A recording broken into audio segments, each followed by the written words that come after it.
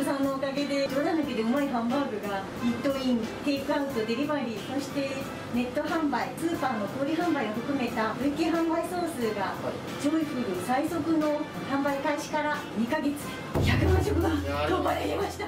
本当にありがとうございました。これは結構すごいことなんですね。100万食っていうのは新規商品ではい当社は過去1年間で150万食というのが多分私が記憶している限り最も売れた商品ですから、え5倍以上ですかね。はい。のスピードで出てますね。ありがとうございますありがとうございます。本日はもうあのアンバサダー就任のお食事をお持ちいたしましたので、あ本当ですか？ぜひお受け取りいただければと。えー、そんなんあるんですおおすごいうわおおすごいえあるなお渡ししてよろしいでしょうか。はい委嘱状ヒカル殿ジョイフルアンバサダーを委嘱します。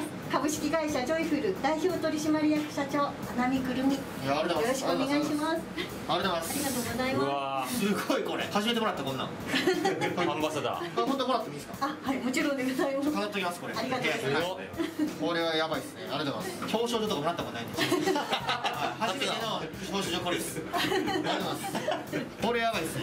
いやありがとうございます1ヶ月経っても結構すごい勢いではい、はい。店でもですし食品スーパーさん小売業は、まあ、9月1日から販売開始しましたので、はい。むしろ今そちらはもっと広がっていってる状況。え確かにスーパーで急に並び出したんですよね。ドン・キホーテとかにも。あります。ー、ありました。ありました見ましたもん。だから本当いろんなところに身近なところにこのハンバーグが売られてるんですよ。はい。ちょうどあのお取引先様の数と販売店舗数がこの2週間で倍増いたしまして、え今3000コリオ3700店舗で。3000円で売れてるんですよはい。あ花見さんが並んでおります。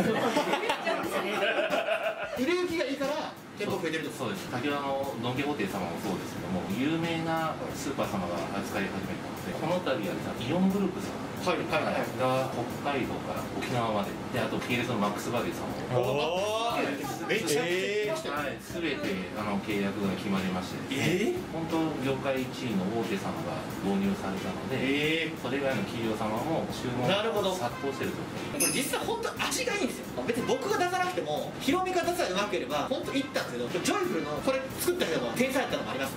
これマジでうまそうに見えるというかなんかもう目を引くんですよ。あののぼりも。それが完璧にハマりましたね。多分これだったらそこまで行ってなかったです。これだから行ったんですね。このなんか文字と色合いと人の目を引く。あののぼりも見た瞬間にやっぱ気になるじゃないですか、うん。僕も知らなくてもあれ見ちゃうと思うんですよ。こんだけ言われてたら食べたくなると思うんですよ。っていう全部がハマったからこれこうなったと思うんで。すごいですね。このジョイフルの人のあれは天才的だと思います正直。あと味が何よりうまかったですね第2弾。さんがあの動画の中で唐揚げが大好物ってあーそうですね。しておりますので、今回は唐揚げでいかがかなと考えております。自分の家に出てたものを商品化したらこんなん絶対売れるんじゃないかっていうのは昔から思ってたことの一つなんですよ。で今回唐揚げって当たって唐揚げやっぱ僕の実家結構僕の中でうまいんですよ。で僕の友達が来てもみんな圧倒的にうまいって言ってたんです過去。だからそれをもし改良を加えてジョイフルと掛け合わせてやったらもうやばいのできるんじゃないかなっていうのはちょっと思ってて。ちょっと一度味見をぜひさせていただきたいですね。じ想像がつかないので来ても。らってもいいですか？兵庫なんですじけど実家実家ですか？はい実家兵庫なんですよ 兵庫です山奥なんですけどはい。いいんですか？あ、ぜひお願いします。ちなみにいつ頃でしょうか？いやでももう早い方がいいですよねそうですね。できれば。これはだから早い方がいいんだったらもう本当近いところであさってとかあさってにあさってに改良っていうかちょうど関西からとるんではいあさって行けるんだったらあさってがベストですけどねタイミング的に行けるんだったらですよはい、いいですかね。いけいけるんですか皆さん大丈夫です。大丈夫ですか大丈夫。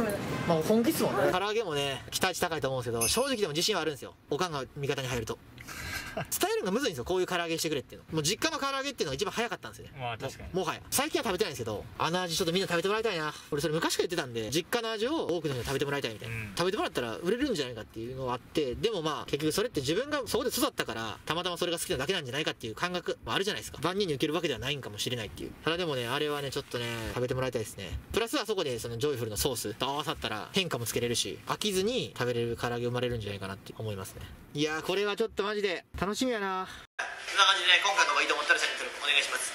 よかったらグッドボタンもぜひ Twitter、Instagram、世界チャンネル、ファンクラブやってますのでまた見てください。じゃあ僕はこれで終わります。ありがとうございました。